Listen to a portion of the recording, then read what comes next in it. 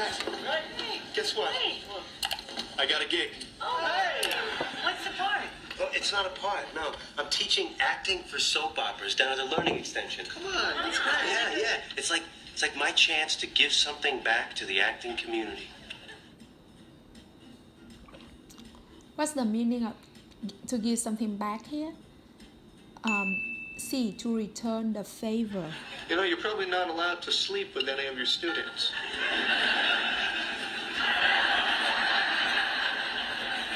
I know.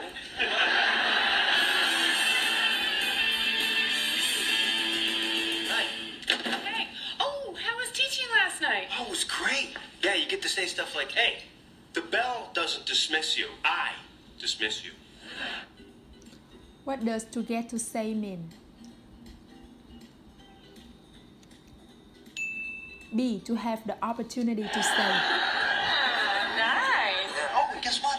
Audition for all my children. Oh, yay. Yeah, it's this great part, this boxer named Nick, and I'm so so right for it. You know, he's just like me, except that he's a boxer, and and has an evil twin. okay, some tricks of the trade. Now, I've never been able to cry as an actor, so if I'm in a scene where I have to cry, I cut a hole in my pocket, take a pair of tweezers, and just start pulling.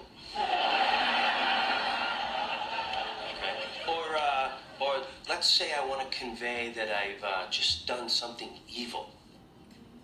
What's another way to say to convey? B. To communicate. Say I want to convey that I've uh, just done something evil. Well, that would be your basic. I've got a fish hook in my eyebrow, and I like it. Okay. Let's say I've just gotten bad news. Well, all I do there is try and divide 232 by 13.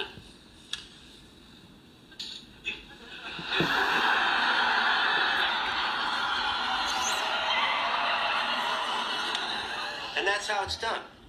Great soap opera acting tonight, everybody. Class dismissed. Hey, Mr. Trim. Hey, guess what?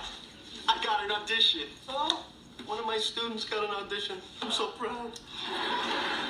I was wondering if you would consider coaching me for it. You bet. What's the part? Oh, it's great. It's a role in All My Children. Nick the Boxer.